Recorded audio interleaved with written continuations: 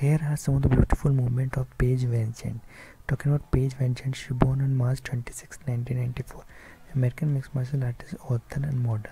She was signed to flyweight division of the Ultimate Fighting Championship, that is UFC, in August 2020. VanZant signed a contract to fight exclusive in a bare knuckle fighting championship.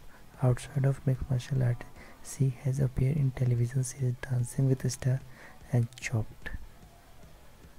In December 2013, she was announced as one of 11 women signed by UFC in newly created strawweight division.